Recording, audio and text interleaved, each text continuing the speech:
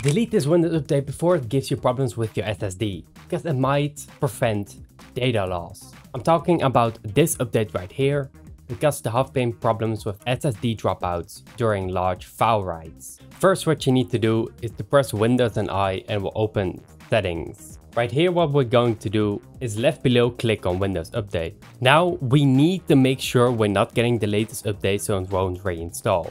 So let's pause it, click on this button and then pause it at least for 4 weeks. Now what we need to do is to go to Update History, click on it and you will see all updates that have been installed to your system. Note this down right now because this is the error we need to remove, this Windows update. So if you look right here, it is this one. If you have that one, then let's click on this button to close it and go to uninstall updates. Th this, this way we know sure you have already downloaded this update. If you go below here, uh, you will see the KB5063878 again and that's the exact code we need to remove.